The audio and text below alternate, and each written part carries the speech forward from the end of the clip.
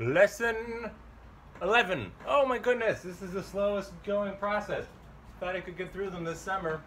Summer's, well, first day of school, that's what we mark the end of uh, summer, is Friday.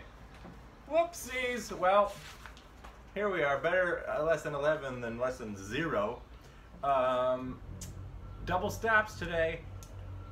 Not the most exciting lesson, but it's we got to do it. Lesson 12 little excitement happening. Something to look forward to. Noli, shall we do lesson 11? Yes. I'll chew. These are for chew on. We're accessorizing here. Uh, double steps. Uh, what's going on with this? He says, keep a steady tempo and the hammers must be kept low. Uh, really? in order to attain, to attain speed, if the arms and wrists become tired after continuous practice on these double steps, is because the stroke is too stiff. So when we do a double stop, um, uh, maybe I'll, I'll give David, do you watch these things? David Harvey has an interesting idea about double stops, the terminology. Green says double stop, we call it double stop, but maybe double stop is not the correct term.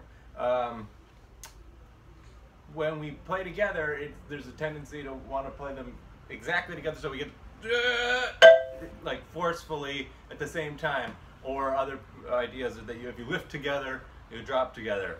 But that won't work if you're playing quickly. There's no time to lift between each one. Uh, so I don't know. There's probably neuroscientists who study this sort of thing, but I tend to, to find that it works if you play with intent. So if I think ba, it'll be together. If I think ba, uh, it's to be uh, messy. If I'm not thinking at all, it'll probably be messy. So to always have the music in your mind. Um, there you go, philosophical idea for Wednesday morning. I thought it was Tuesday, it's Wednesday. Uh, let's do number one. And also, the great thing about doing these is that I benefit from them. I watch back and find out that last lesson I think I said, oh, let's do it quietly. I'm playing as loud as anybody else everybody in the anybody else in the building. I can hear the neighbors are playing. They're playing so loud. Let's play quietly.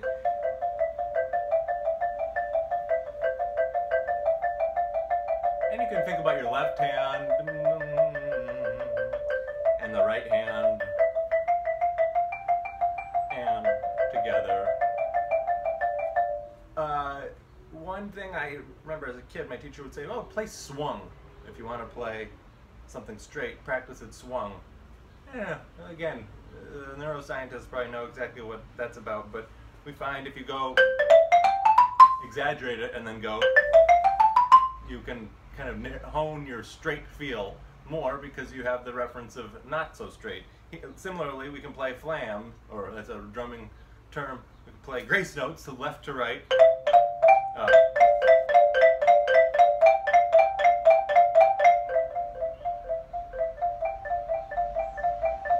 left.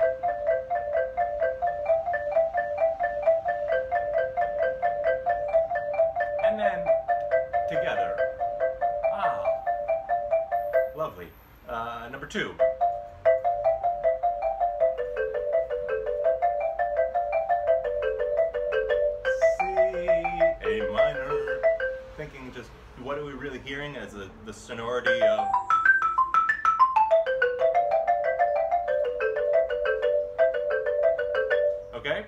Number three, lower neighbor.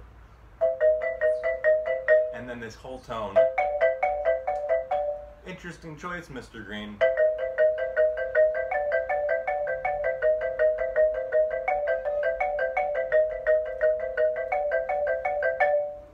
Later on, he will do where the lower neighbor is a half step and the ascending interval is diatonic. Does that make sense? Lower neighbor, lower chr chromatic lower neighbor.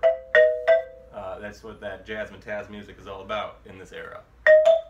And then ascending. It's like those scales. They use the minors where you go up one way and down the other way. It's kind of like that. Number four.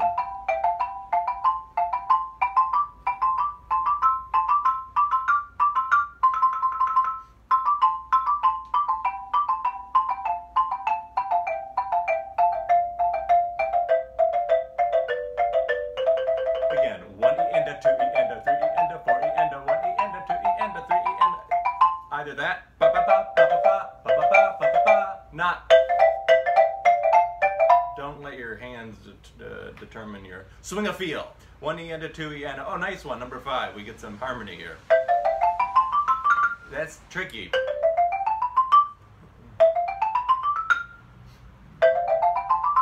Important to do that all the time when you're playing with other people or your baby or something. Do this. Uh, Everybody knows uh, it makes you sound like a, a coquette. Uh, don't do that. uh, sorry, one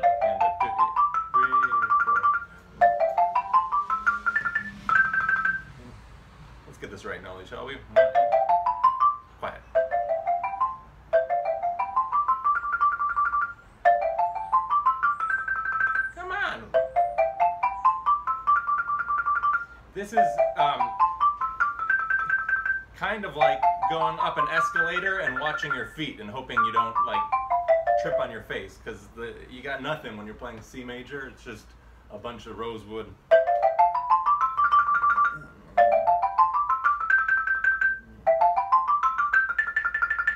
Oh, what happened? Yeah.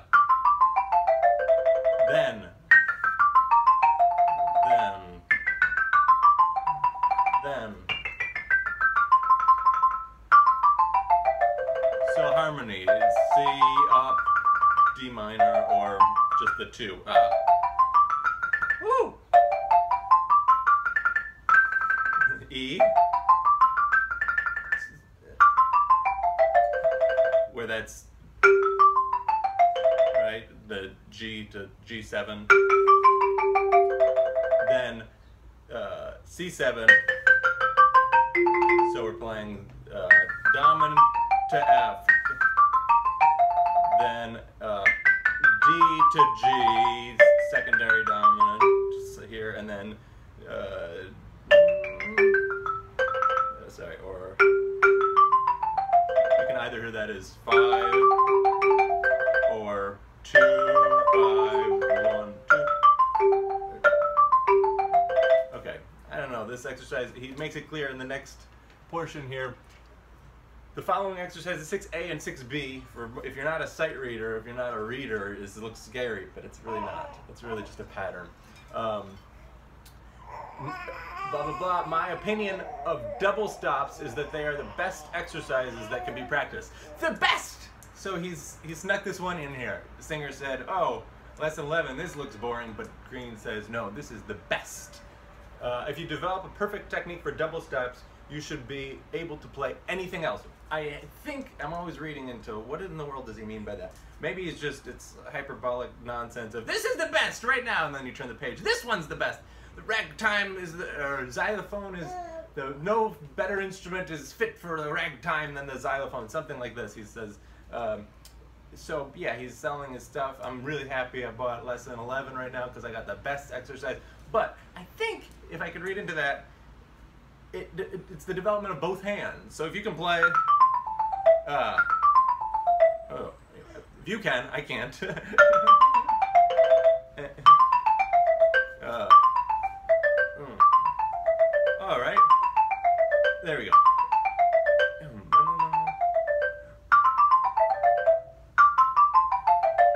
The point being, if you can play a lot with one hand and a lot with the other together, controlled, then anything independently is going to be cake. Cake. Like a cakewalk. Okay. There are a lot of notes here. I'm going to try to figure this out. So this is what I mean by that lower neighbor up diatonically. Lower, lower, lower, lower, lower. One, two,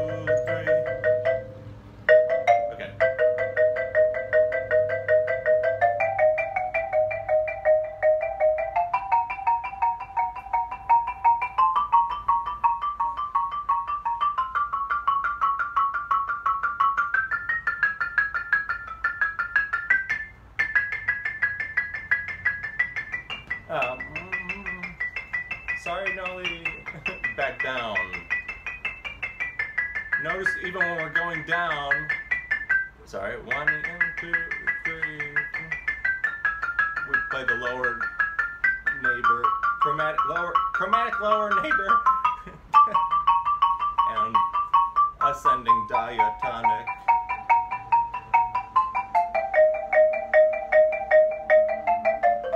Two, three, four. For the sake of time, I'm going to let that one go. Next one, a little bit more movement.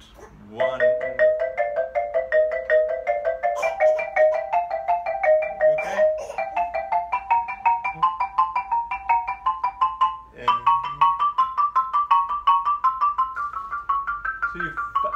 Stopped reading this because I think I figured out the pattern.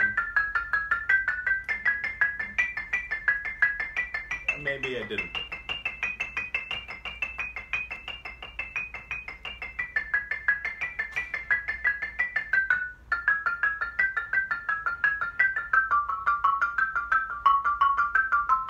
I'm too excited about the ragtime.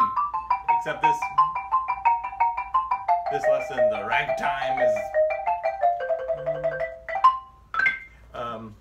Are you striking the sharps on the ends of the bars? Are you striking the wrong notes? If so, slow down the tempo. Uh. Ragtime, he says here. Uh, keep a steady tempo. Where the accents are marked, a short, quick roll is best. If you attempt to linger too long on these notes, the roll will run into the next note following, and the ragtime effect will be spoiled. No ragtime! What's the opposite of ragtime? It's a question for you today. Ba ba ba ba da da da da da ba da da da. So if we go, we're late. So I'm gonna do just left, right, left.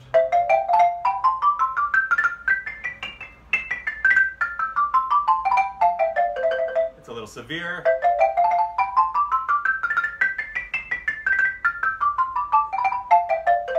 Real application of this, let's go on and I'll, I'll demonstrate a couple things and then we'll call it a day. And only will, what will we do? We'll try to eat some solid food today, huh? Yes. Uh. So decide. I'm going to play each one as a as two grace notes.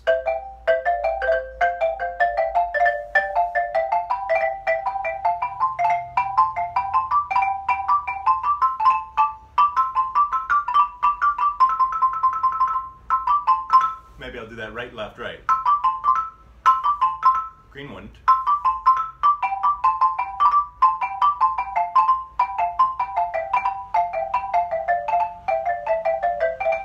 Okay, uh, how about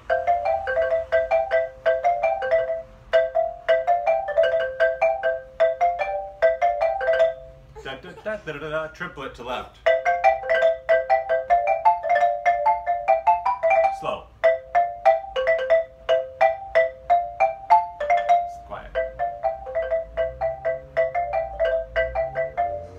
Give these little rhythms or think about it, you're going to develop different options and they're going to sound clean, crispy, crispy, crispy. And people are going to love it. I'm going to say